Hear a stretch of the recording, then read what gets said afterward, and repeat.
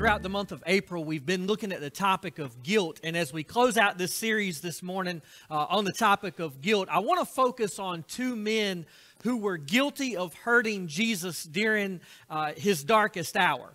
On the night that Jesus was arrested and tried and crucified, two men, two of uh, Jesus' disciples, sinned against him in very monumental and, and memorial, uh, memorable ways. Uh, Judas started the evening off by betraying Jesus. He had made a deal with the Jewish leaders to hand Jesus over to be arrested in exchange for 30 pieces of silver. Later on that evening, Peter would deny even knowing who Jesus was. Uh, after Jesus had been arrested, he was kind of following along in the shadows just to see what the fate of his Lord might be. And somebody came up to him and said, Hey, aren't you one of Jesus's friends? And he said, No, I, I don't even know who Jesus is. Another person came up to him and said, Aren't, are you sure? I mean, you like one of the guys that's been with Jesus? He said, No, it, it's not me. It must be, must be somebody else you've mistaken me for. Then a third time he came up to him and they asked him and said, Aren't you one of Jesus' friends, his disciples? And Peter denied even knowing who Jesus was that point or time to the point of even cursing while he denied any relationship with Jesus. So Judas and Peter both turned their backs on Jesus during his darkest hour. Both men were guilty that night. They were guilty. However, when we talk about Peter and Judas today, we tend to remember them a whole lot differently. Uh, Judas, we, we remember him as a betrayer, but we don't even hardly remember the fact that Peter denied Jesus because he did so many other things for, for the kingdom of God we, we don't remember them necessarily for what they did, but how they responded to their guilt in the aftermath. Judas was motivated by his guilt to completely give up on God, but Peter was motivated by his guilt to get better and do something for the kingdom of God. And I want to look at these two guys and that contrast and those different mentalities of, uh, of dealing with guilt this morning and just see w- what that means for us. I want to start with looking at Judas. In Matthew chapter 27, verses 1 through 5, the scripture says, Early in the morning, all the chief priests and the elders of the people made their plans for how to have Jesus executed. So they bound him and they led him away and they handed him over to Pilate, the governor. And when Judas, who had betrayed him, saw that Jesus was condemned, he was seized with remorse and returned the 30 pieces of silver to the chief priests and the elders. He said, I have sinned, for I have betrayed innocent blood. And they replied, What is that to us? That's your responsibility. So Judas threw the money in the temple and he left, and then he went away and he hung himself. Now, Judas did wrong and he felt guilty because of the wrong that he had done. He confessed his sin to the Lord. Uh, he confessed it to other people. He even went as far as to trying to undo the wrong that he had done. He went and returned the money, the blood money that he had received. And because they wouldn't take that money, he took it and instead of keeping it, he threw it into the temple and, and he left. Now, if the story would have stopped right there, Judas would have done everything that God expects for a guilty person to do. He was sorry for what he had done wrong and he wanted to make it right. But the story doesn't end there. When he saw that he couldn't undo what he had done and, and couldn't undo the consequences for his actions, his guilt overcame him. And the story says it ends in verse 5 by telling us in that passage that he went out and he hung himself. Judas's guilt motivated him. Initially, it motivated him to do the right thing, to repent to have remorse, to be sorry for what he had done. But when he saw that he couldn't do that, he made another choice. He made another decision, and he allowed his guilt to motivate him to completely give up. He gave up on Jesus, he gave up on God, he gave up on God's grace. He gave up on the idea of forgiveness and mercy that he had been hearing Jesus preach about for three years at this point. And then ultimately, he gave up on his own life and he killed himself because he gave up. Now, then you go and look at what Peter did. Kind of contrast that with Peter, who denied Jesus not just once, but denied Jesus three times that night. After Jesus' death, burial, and resurrection had all taken place, there was some tension between Peter and Jesus. And uh, Jesus knew what Peter had done. Peter knew that Jesus had known what Peter had done, and Jesus, not being one to kind of uh, ignore the elephant in the room when there was an awkward situation, he brought it to attention. He brought it to Peter's attention so they could have a conversation with this thing and just clear the air once and for all. But I love the way he does this. He does it in a gentle way. He doesn't bring up the fact that he had denied him, instead, he alludes to it. In John chapter 21, verses 15 through 19, the scripture says, When they Jesus said to Simon Peter, Simon, son of John, do you love me more than these? And Peter answered, Yes, Lord, you know that I love you. And Jesus said, Then feed my lambs. And again, Jesus said, Simon, son of John, do you love me? And he answered, Yes, Lord, you, you know that I love you. And Jesus said, Take care of my sheep. And then a third time he said to him, Son of John, do you love me? And Peter was hurt because Jesus asked him a third time, Do you love me? And he said, Lord, you know all things. You know that I love you. And Jesus said, feed, feed my sheep. For truly I tell you that when you were younger, you dressed yourself and you went where you wanted. But when you are old, you will stretch out your hands, and someone else will dress you and lead you to where you do not want to go. And then Jesus said, this to indicate the kind of death to which Peter would glorify God. Then he said to him, Follow me. How many times did Peter deny knowing Jesus? Three times. How many times did Jesus ask him that question, Do you love me? He asked him three times. Jesus didn't have to come right out and address what he was talking about. It was clear because Peter knew from the moment that the denial of Jesus had come from his lips, Peter had been eat up with guilt.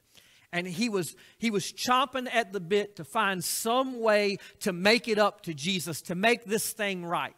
To, to seek his forgiveness, to show him that he was sorry, that he would be willing to confess the name of Jesus before anybody at any time in any situation for the rest of his life. He wanted Jesus to know that. And Jesus let him know that soon enough he would have the opportunity. It would be just a few weeks later on the day of Pentecost that Peter would stand up and he would preach the very first gospel sermon that was ever preached. And from that moment on, Peter would travel the world and he would preach the death and the burial and the resurrection of Jesus Christ. He preached the name of Jesus, the very name that he had once denied the very man that he had once denied, he would go on and, and preach that that name would be the only name given among men whereby we must be saved. He would preach until he was arrested for preaching the name of Jesus. Peter would be imprisoned for preaching the name of Jesus.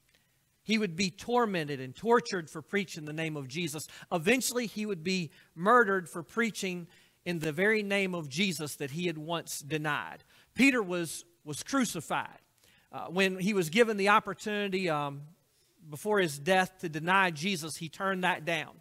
And he was willing to go to the cross and die himself for that name that he had one time denied. The only request that he made wasn't to spare his life. The only request that he made was simply, don't crucify me in the exact same manner that you did Jesus. Turn me upside down because I'm not worthy of dying in the same way and in the same manner of my Lord.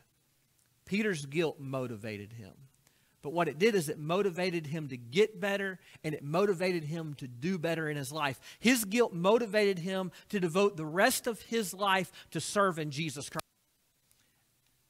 I want to point out something that we, we often, I don't know if we skip this or maybe we're not aware of it, but we don't talk about this a whole lot from the scripture about the night that Jesus was betrayed. We always focus on Judas and Peter, but other disciples there too. And those 10 other disciples, they weren't anywhere to be found either. Uh, in fact, they didn't have the chance to deny knowing Jesus because they had already ran. We're told in Mark chapter 14, verse 50, that when on the night that Jesus was betrayed and he was arrested, that when he was arrested, it says, then all of his disciples deserted him and they ran away. It wasn't just Judas and Peter who deserted him, they all deserted Jesus that night all of them. In fact, I, I think it's more appropriate to say it like this it wasn't just all of them, it was all of us. Because in some way or another, every one of us has been in Judas, in the same shoes that Judas and Peter found themselves in that night. We've all sinned. We're all guilty. We've all betrayed or denied Jesus in some way or another, whether it was through our words or through our actions. People were able to look at us and say, You're not living a life that shows that you believe that Jesus is Lord just like Judas and just like Peter, we've all felt that guilt and that shame over the things that we've done or the things that we've said. And just like Judas and just like Peter, we all have a choice to make. Our guilt can either motivate us to give up or we can use our guilt to motivate us to get better and to do better. Guilt is the result of a moral failure. At its core, it's because we failed at doing something that God has told us to do, or we've not done something that, that He's told us to. When I look at our culture, that kind of concerns me. Because our culture is not very good at dealing with failure. We've gotten very soft when it comes to dealing with, with failure. Even the, the most, the, the tiniest of things, it's almost like we don't know how to deal with, with failure in our culture anymore. You don't have to do anything more than go to a little kid's little league baseball game.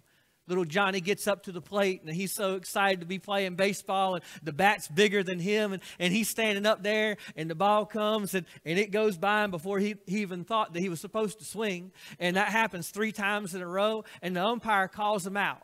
Well, what's, what's the problem? The umpire must be blind if little Johnny struck out. Surely it couldn't be that Johnny hadn't practiced all year long and just showed up. You know, surely it couldn't be that. The umpire must be blind. And what do we do? Well, now mom and daddy get to talking about this thing. Grandma and grandpa, they throw in their two cents. And now we're thinking about not playing next year because little Johnny struck out. We can't have this. We can't put up with this kind of failure in life. Heaven forbid we go home and practice in the backyard and try to get better. That's not what we do in our culture. We want to give up at the first sign of failure. Or maybe you go to work and Monday things at work were pretty good, but then on Tuesday it didn't go good.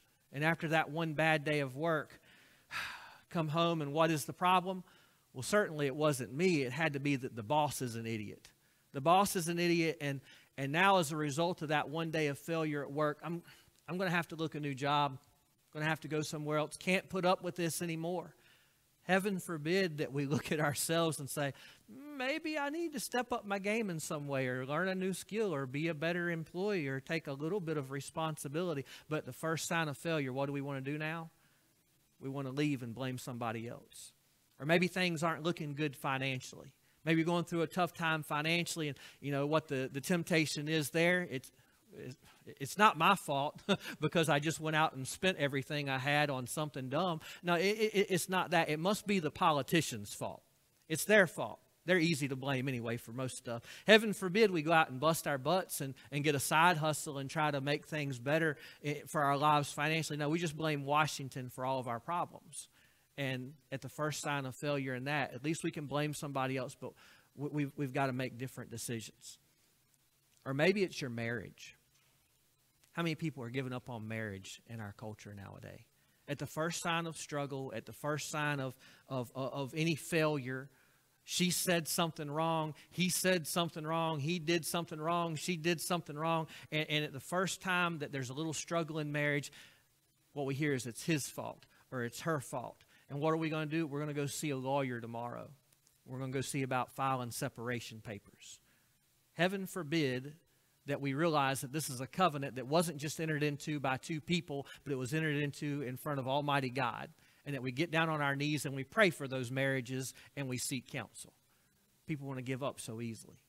We've gotten really bad at dealing with failure in our culture. And sometimes it seeps into the church. And sometimes that mindset, it, it, it's adopted by Christians. But listen, failure is a part of life. It is a natural part of life. And, and it's one of the most important parts of life. It is when we fail that most of the time we learn the greatest lessons. We learn the ones that, that stick with us. And if we follow the example of Peter from our text for this morning, it's when we fail that then we can get the motivation to go out and do better and be better so that next time we're faced with the same situation, we might have some success in, in life at that next time. Listen, we are going to mess up. We're going to mess up in, in all the different illustrations I just gave and so many more. We're going to make bad decisions and we're going to fail. And when we do, we're going to naturally. But we've got two options. We can allow our guilt to motivate us to just give up and walk away and not have any involvement with anybody or anything. Or we can use our guilt to motivate us to get better and to do better. Let me tell you something God wants you to get better. That's really the whole purpose of guilt in the first place. That's why He convicts you with His Holy Spirit when you sin. He convicts us of our sin because He wants us to have guilt so that we will go out and do better. The reason that the whole reason that He wants us to do that is so that we will do better because He wants us, He has something better for us to do in serving Him. That, that's the whole purpose that He convicts us with His Holy Spirit when we sin.